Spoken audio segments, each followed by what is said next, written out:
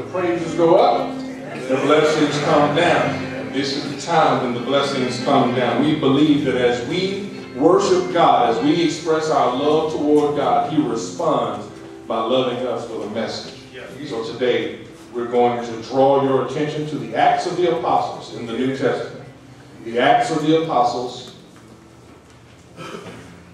chapter 4, verses 1 through 4.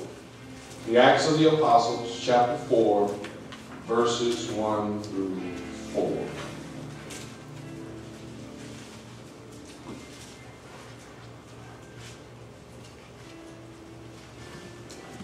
You found it, you may signify by saying amen. amen.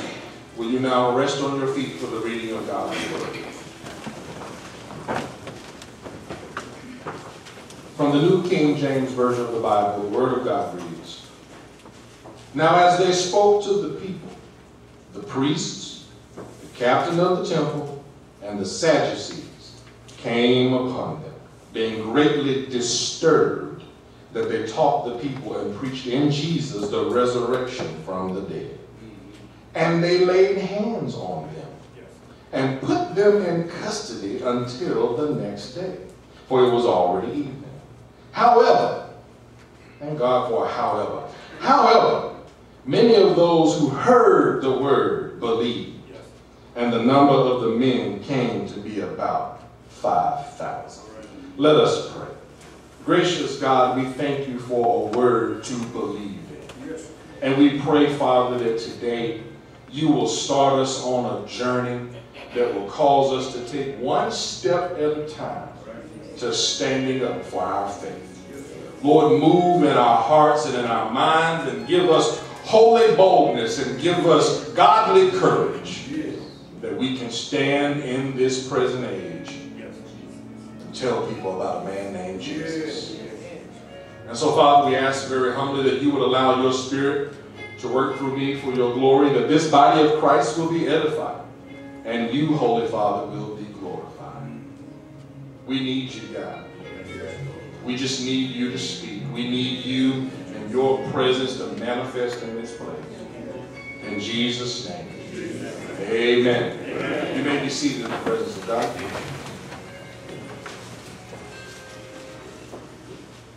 I want to thank our ushers this morning for your service.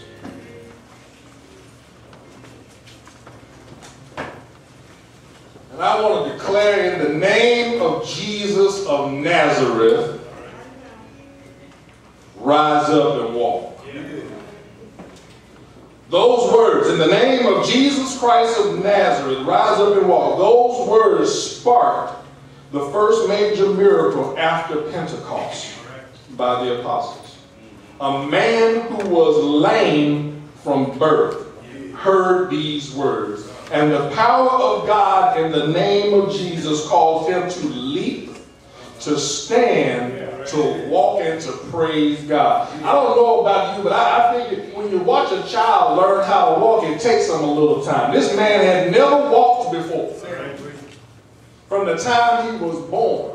When you read in Acts chapter 3, you read about this miracle and this man that they brought to the temple and from the beautiful gate every day to ask alms. And he says to, to, to Peter and John, hey, he's, he's, he's asking alms for the poor. And they said, silver and gold I have none, but such as I have, I give unto you. In the name of Jesus Christ of Nazareth, rise up and walk. This man didn't just get up and walk. He didn't just stumble. He, he got up and went to leaping celebrate. But after this miracle, there arose some circumstances that caused the apostles themselves to have to learn how to rise up mm-hmm. and walk in their faith, even in the face of adversity. So in this series, I believe God wants to encourage the church to rise up and walk into the fullness of your purpose. And so we're going to spend five weeks together in this topic, Rise Up and Walk. And today, I want to preach from the idea rise up and testify. Rise up and testify. Over in chapter 3, as I said earlier, we find this lame man is healed, and the people of the temple, when they recognize that this man who was walking and leaping and jumping and, and praising God had been the one that had been lame there his entire life, when they recognized it was him, a crowd gathered. And when the crowd gathered around, Peter began to talk about the power of God. He let them know it wasn't because of us.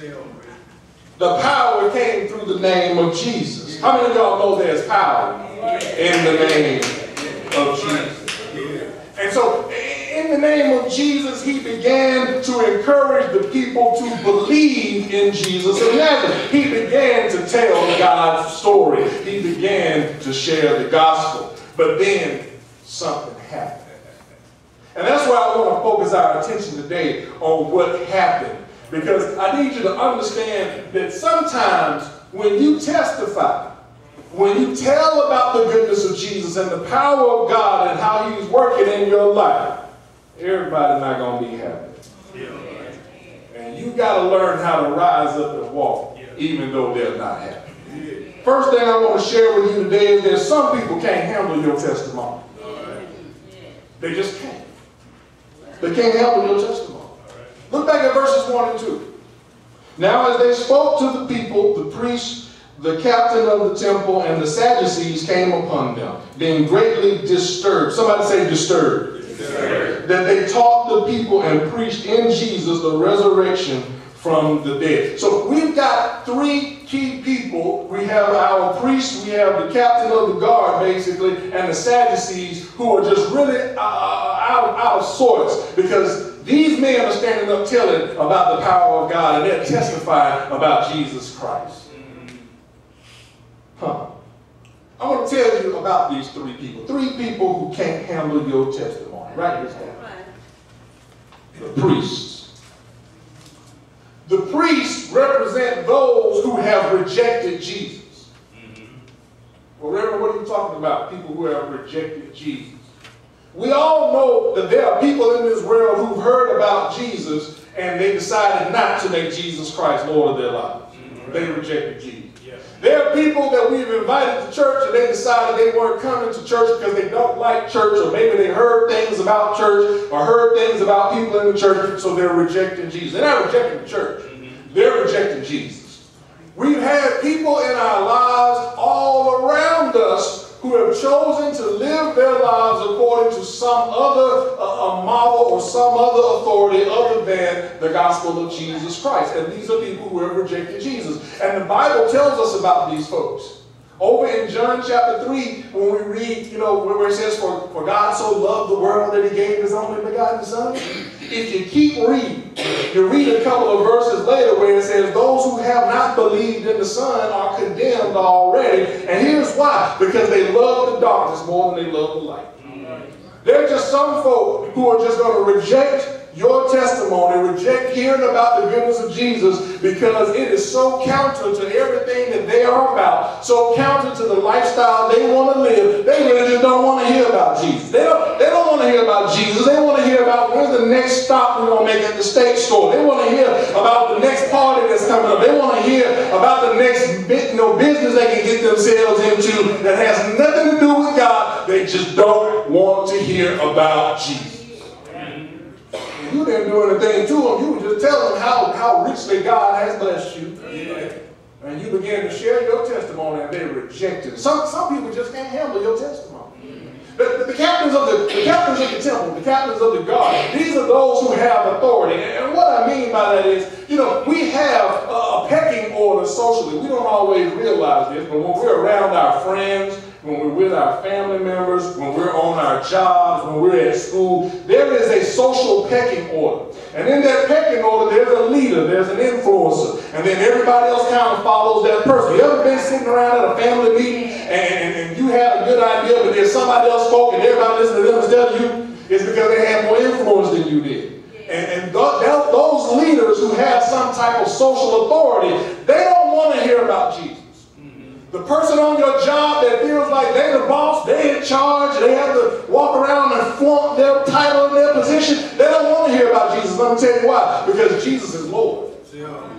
And when Jesus shows up, he has all authority. So even though you might be the lowest man on the totem pole, you got the highest authority and Jesus involved in your life. And they don't want to hear about it. They don't want the, the, the scene to change. They don't want the mood to change. They don't want their, their influence to change. They want to maintain their social authority and they just don't want to hear about what God is doing in your life. Hmm. But then you got the Sadducees. The Sadducees are those who don't believe in miracles. Yeah. You see, the Sadducees in Bible times, they were a group of people who did not believe in the resurrection of the dead.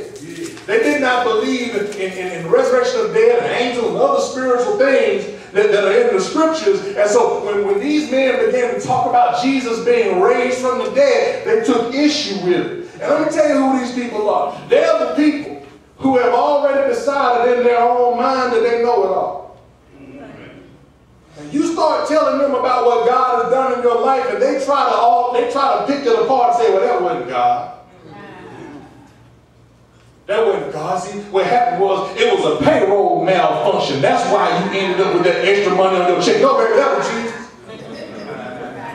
That was Jesus because the silver and gold and his cattle on a thousand hills, and he decided I need to have some more. Yeah. He gave it to me. That was Jesus. Well, see, you went to the hospital and you saw the doctor. They did the MRI, and then they found out this was going on. You took this medicine, ah, but you know they, they practice the medicine. But Jesus made me, and He knows all about me, and He's the one that healed me. That was Jesus. Don't try to rationalize my healing. Don't try to rationalize my, my, my deliverance. See, some of these folks just a little too smart for their own good. Because they don't have a childlike faith. Those are some folks who don't want to hear your testimony. And just because they can't handle your testimony doesn't mean you keep silent. Let, let, let, me show you something. Matthew 10 and 33. Matthew 10 and 33 says, But whoever denies me before men, him I will also deny before my Father who is in heaven. Jesus says if, if you will deny him in front of other people, yeah. he's going to deny you in front of the Father. Yeah. Which means we can't fear their faces. We can't fear the backlash of what they may say or think about us when we start talking about the goodness of God in our lives. We, we can't worry about whether or not they put us on the list. You know the list. It doesn't matter. Because some of y'all have put too many Jesus things on your Facebook profile and folks have unfriended you and you hadn't seen them on Facebook in six months. And you don't even know why. It's because you just had a little too much Jesus. I'd rather have too much Jesus than have too much hell. Because the truth is, if you don't praise him, the rocks will cry. And I'm telling you, I don't want a rock to cry out in my place. If God does anything for me, I don't care who is in front of me or where I am or what the setting is, I'm going to testify about the goodness of Jesus. And I already know some folks just can't handle it. They can't handle it. Second thing I want to tell you is that some people will attack your testimony. Some people will attack your testimony.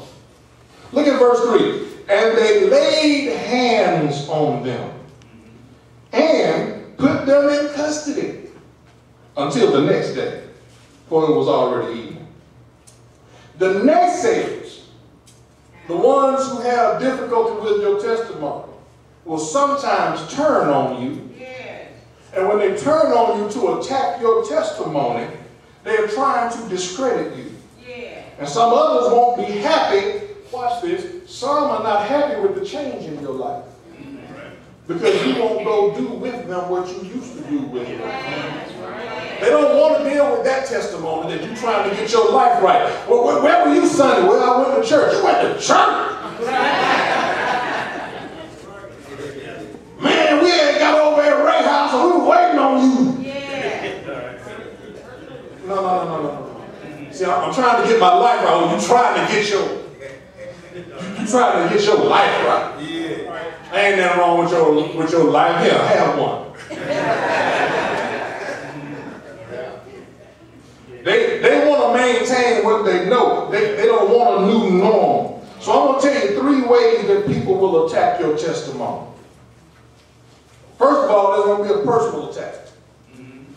Because the Bible says they laid hands on them. I don't know about you, that's personal. When you lay your hands on somebody, when you grab somebody, when you lay hands on them, that, that's personal. And what happens is sometimes when you share your testimony, people will try to discredit your testimony by attacking you. Yeah. Oh, so you go in the church now. You, you who used to do X, Y, and Z. You who was just with me last month when we went so and so and did such and such. You, they'll attack you. They'll, they'll care about the fact that you've got a, a, life in Jesus and that you're trying to get right with God. They will attack you. Oh, oh, so so you're talking and you you telling everybody testifying about that promotion you got on your job and and oh, oh, but, but, but you didn't deserve it. Yeah. You weren't as qualified as so and so. Oh yeah. You just a supervisor's pet. No. People will attack you yeah. to try to get at your testimony. And then sometimes there's going to be a, a, private attack. Because the Bible says it put them in custody. Uh, when you put somebody in custody, you're isolating them from everybody else. Have you ever had a chance where you told somebody about the grace of God and then later on they hemmed you up in a corner and tried to very nicely tell you you don't need to be saying that? We don't want to be hearing that. They don't do it in front of everybody else. They just get you over in a corner. And they begin to almost threaten you in a very private, not a public attack, a private attack. When they got you off to the side so they can give you a piece of their mind. And then they usually come and bring a piece of some other people's mind too. Because they said, watch out for that. Watch out for that. They said, and, and we feel like, no, it's you who's got me hemmed up in this corner. How is it they all of a sudden? Sometimes it's a private attack when you share your testimony. But, but then here's the worst one. It's the prolonged attack. Mm-hmm. Because they kept them until the next day. I'm just going to deal with this now. I'm going to continue and put some time behind this thing. You ever had somebody that's all of a sudden become aggressive with you after you shared your testimony? Or after God has moved in your life? Or after God has blessed you? Get a new car and they hate on your car every time they see it. It's years down the road, they still hating on your car. They're not just hating on your car, they're hating on every other car that's the same make and model, even though it's a different color. They, they just upset. They are, uh, they are upset that God would bless you in such a way. And you happen through the neighborhood with the, with the radio up and the windows down. And now they just got problems with you. And so they can't speak nice to you half the time. They can't speak nice to you the other half of the time. They talk about you, but it's prolonged. And there's nothing you can really do about this, this, this prolonged aggression. You, you know what I'm talking about. I, listen, I, have been in circumstances where I've been elevated, where God has lifted me up, and then there were people, and I'm, I'm praising God for it, and there are people around who just refuse to have anything to do with me. Amen. Oh, you, you, you know exactly what I'm talking about when you are the one that got chosen to do the project, or you are the one that got chosen for the promotion, or you were the one that got chosen, and God has lifted you up, and folks come along, and they're just mad with you constantly. Well, you're just trying to do what God has blessed you to be able to do. People will attack. See, some people cannot handle your testimony, and some will attack your testimony, but there's good news. Over in Isaiah 54 and 17. The Bible says, no weapon formed against you shall prosper. And every tongue which rises against you in judgment, you shall condemn. Heritage of the servants of the Lord. And their righteousness is from me, says the Lord. I don't know about you, but it's something reassuring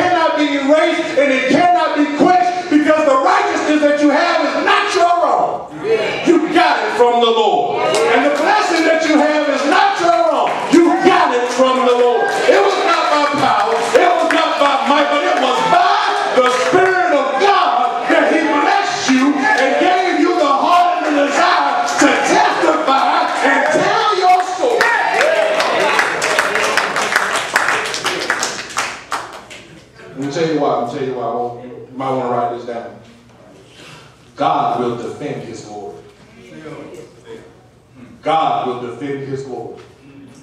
Now, when you're reading the Scripture and you're going back and reading in the Bible, especially in the Old Testament, when people stole God's glory, He always stepped up. And so when you testify and you give God the glory, don't worry about it. God got you. God got you. Because He will defend His own glory. Amen? Amen. Well, I know those were two negative things. Some folks will can't handle your testimony, and some will attack your testimony. But I want to end on a positive note, like the Scripture does, yeah. because some people will believe your testimony.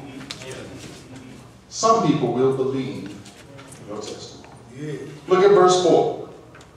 However, I like that. However, mm-hmm. you know, however, in spite of, regardless of, mm-hmm. however, many of those who heard the word believed, and the number of the men came to be about 5,000. The apostles testified of Jesus. The apostles gave God the glory, even though the priests wanted to keep them silent, and even though they were taken into custody. But because they had already given God the glory, the Bible says many believed in Jesus. You see, sometimes your testimony is not for you. You know, God will bless you just so that other people can see you be blessed. Yeah. Which is why when he blesses us, we don't need to take our blessing and go hide in a corner with it. We don't need to go and take our blessing and do what we want with it. The first thing we need to do is turn around and give God the thanks. And give God the praise for whatever blessing he has given us in our lives.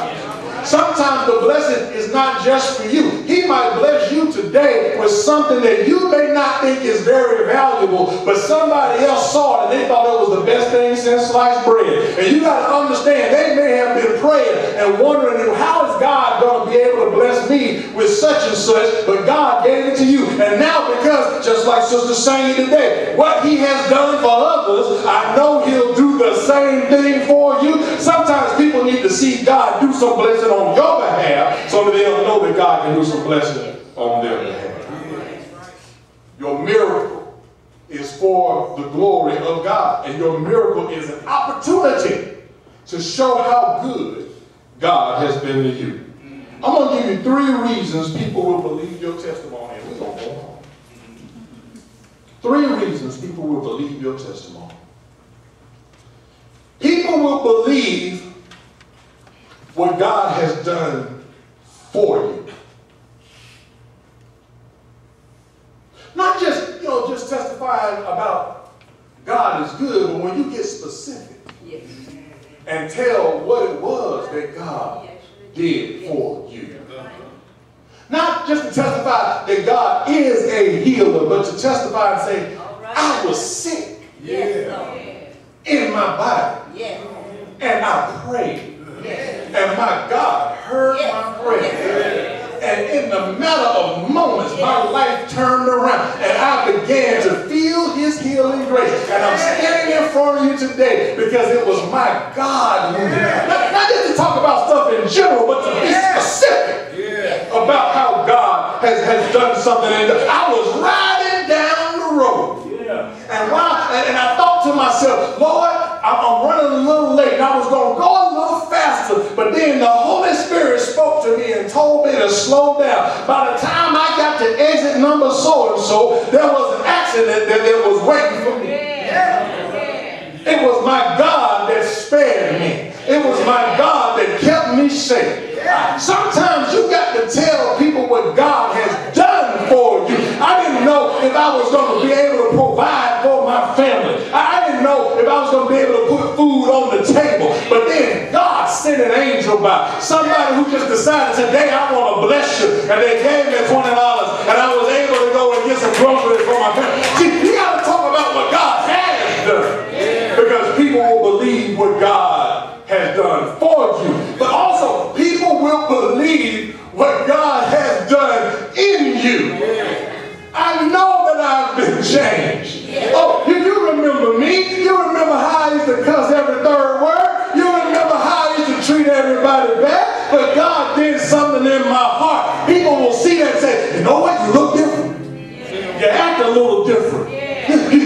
not running the streets like you used to. What's going on with you? It's because God has done a work in me. It's because God is starting to move in my life. And if he can change my life, he can change your life too. And, people, people will believe what God has done through you.